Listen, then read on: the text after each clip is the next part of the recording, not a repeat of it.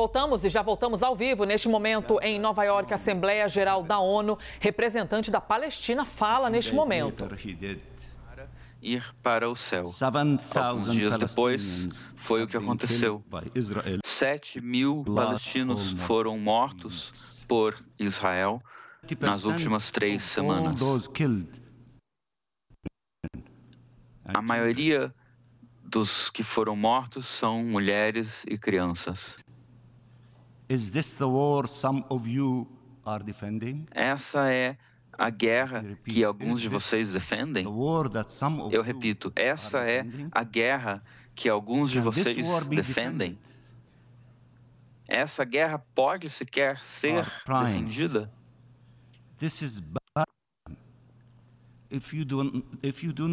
Isso não pode ser defendido. Se vocês não impedirem isso em nome de todos os que foram mortos, não sabemos mais quantas vidas seguirão.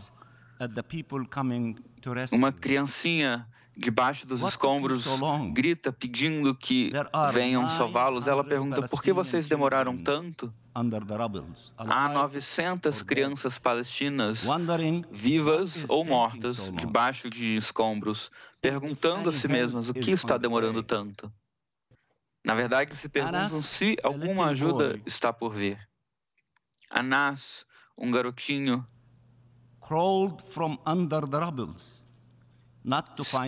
engatinhou e conseguiu sair da, dos escombros, mas não encontrou luz, só encontrou mais escuridão. A destruição e morte estão por toda parte. Sua vida mal começou e já terminou.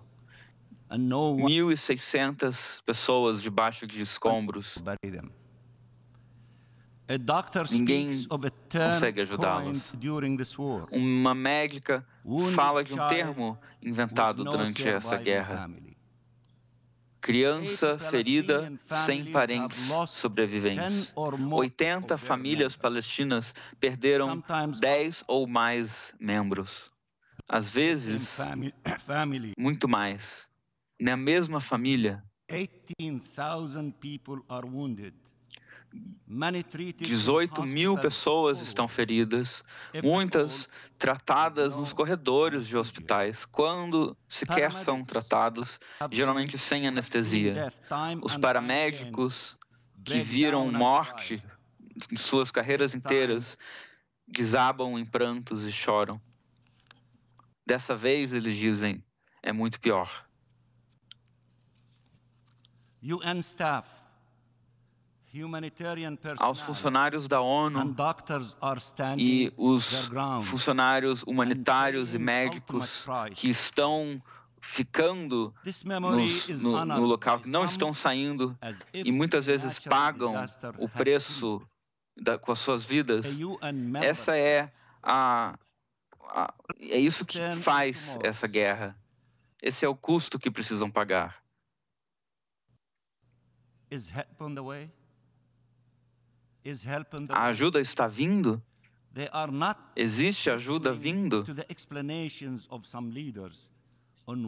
Eles não estão ouvindo Neste momento, atenção para esse momento bem importante, embaixador palestino na ONU, na Organização das Nações Unidas. Eles estão reunidos neste momento em Nova York. É uma reunião de emergência.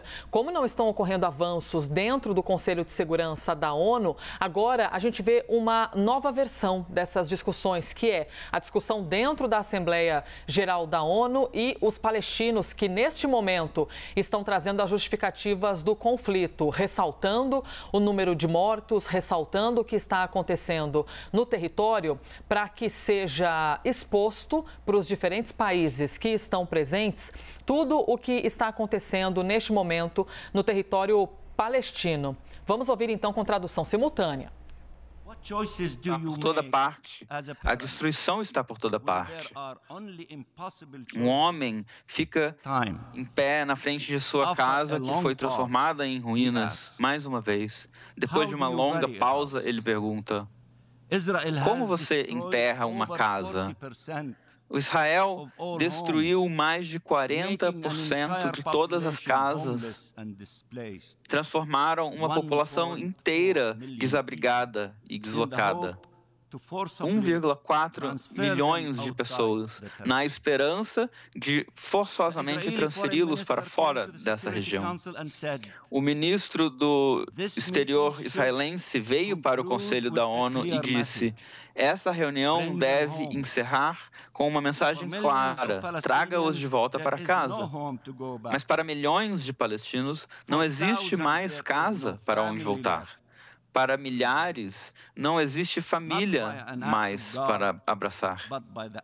Não por um ato de Deus, mas pelos atos de um governo que é representado aqui nessa Câmara. Ele falou das famílias e da dor, mas não há uma única família aqui em Gaza que não sofreu em níveis épicos. Ele disse a vocês como foi terrível, como é terrível matar civis, logo antes de justificar a morte, o assassinato de mais milhares de civis. Ele falou sobre o medo sofrido pelas pessoas quando os foguetes são lançados e as bombas israelenses não pouparam um único metro quadrado de Gaza. Ele acredita que a diferença entre a civilização civilização e a barbárie é quem está matando ou como fazem esses, esses assassinatos. Ele acredita que a humanidade e a nossa ordem baseada no direito se aplicam para os outros, mas não para Israel.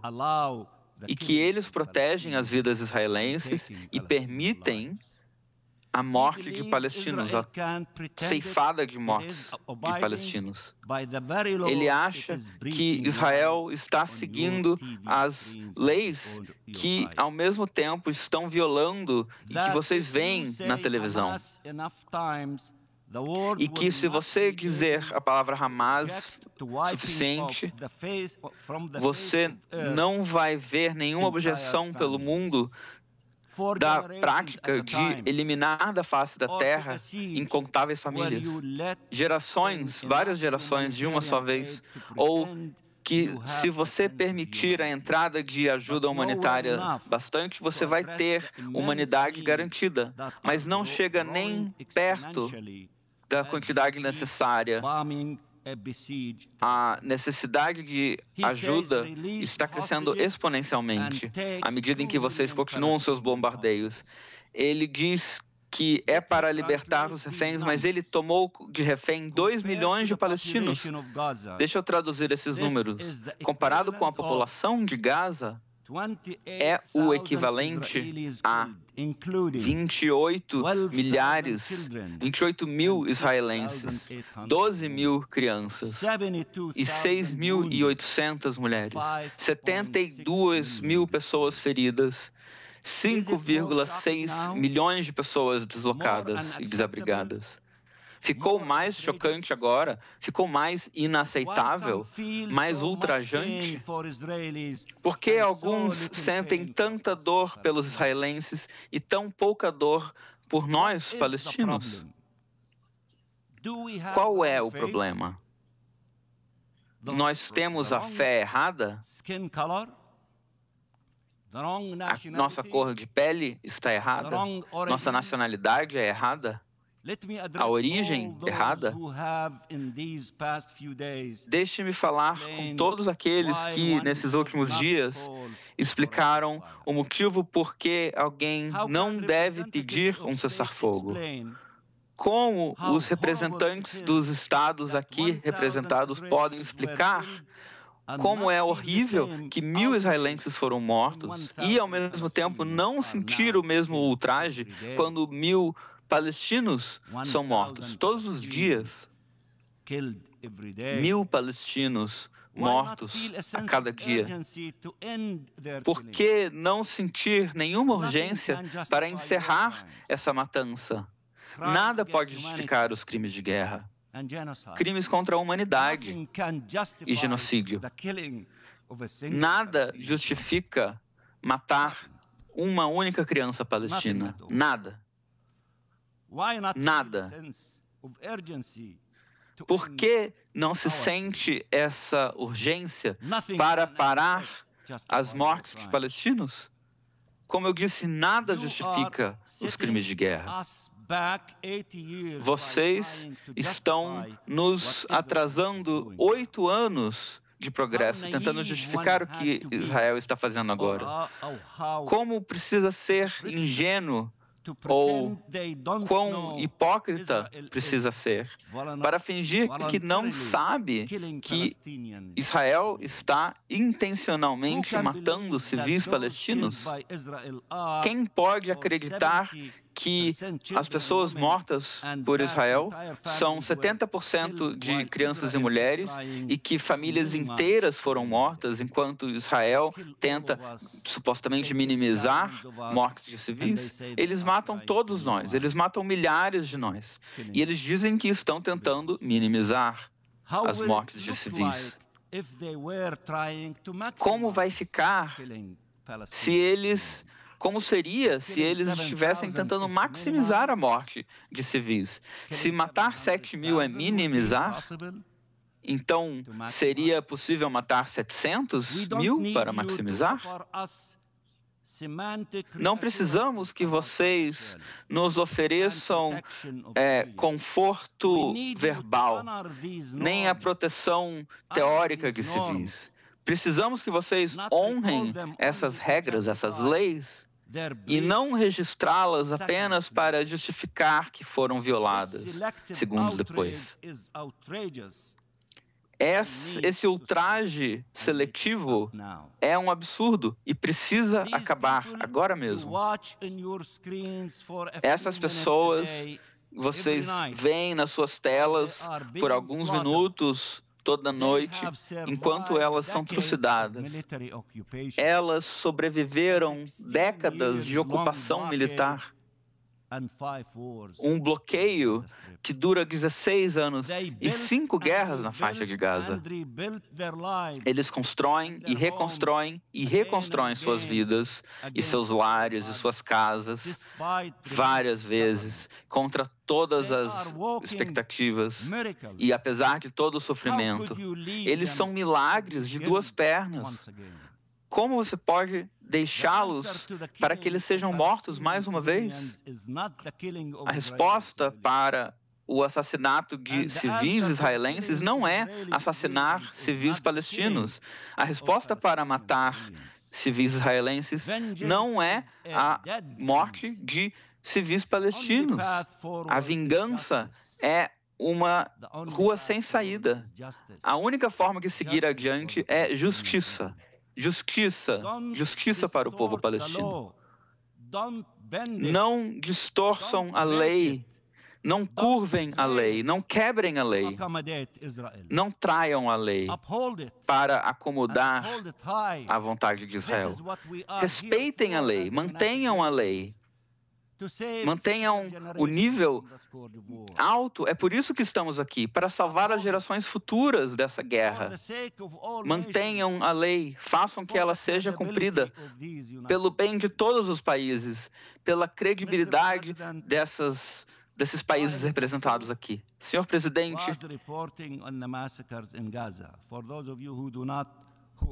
uma jornalista estava relatando quem não conhece o Arthur, ele é o correspondente de campo da rede Al Jazeera na faixa de Gaza. Como ele vem fazendo sem, sem parar há vários dias, recebendo notícias, entrevistando um palestino que perdeu a esposa, o filho e a filha num bombardeio israelense e ele sentiu algo que muitos pais sentem. Ele falou com seu filho. Ele espera uma resposta que nunca vai chegar. Ele disse: Você não me contou que queria ser jornalista? O filho dele queria ser jornalista apesar de jornalistas na Palestina serem alvos. Lembrem do Al-Wahi. E agora o sonho do filho vai amaldiçoar o, a, o resto da vida desse pai. Eu tenho algumas palavras que eu quero que vocês escutem. Ele disse: Eles se vingaram contra as nossas crianças. E aí ele disse, com a voz trêmula: Malish, permita que eu explique para você. Literalmente significa tudo bem. Mas deixa eu contar para você o que eu acho que ele quis dizer. Deixe-me falar em árabe. لواقع تقتل فيه غزة من جديد أمام كاميرات العالم Que mundo vivemos onde Gaza está novamente sendo atacado perante as câmeras. Repudio todos os que veem isso e não fazem nada. Estamos perdendo nossa dignidade. Todos os que justificam as mortes, ao invés de defender as vítimas, estão justificando crimes e prestam seus respeitos à vítima, mas explicam que o assassino não é responsável pelo assassinato. Então, todos os que fazem isso e não defendem nosso povo, não, não defendem o fim desse massacre, repudio a todos vocês. Que vergonha! O mundo de verdade não pode seguir dessa forma. Que vergonha daquele que vai falar depois de mim para defender e justificar a morte de pessoas inocentes. Não existe justiça nesse planeta. Temos Deus. Só temos Deus a quem recorrer.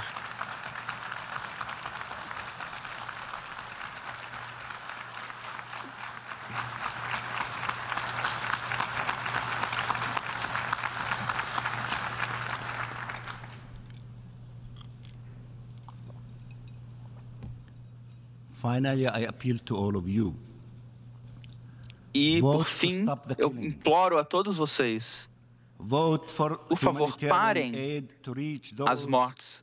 Votem a favor do apoio humanitário para que o auxílio chegue àqueles que precisam do auxílio para sobreviver. Votem para pôr um fim a essa loucura. Vocês têm a oportunidade de fazer algo, de construir algo, de mandar uma mensagem. Escolham o lado da justiça, não da vingança. Não justifiquem a quebra das leis. Escolham a paz, não a guerra. Não mais guerra. Votem para encerrar duas, quase três semanas do pior, da pior hipocrisia que nós vemos há décadas, tragam um pouco de credibilidade de volta a essa instituição e as regras que ela deveria incorporar. Não percam essa chance. As vidas estão em jogo e toda vida é sagrada. Por favor, salvem as vidas, salvem as vidas, salvem as vidas. Votem a favor da nossa resolução. Obrigado.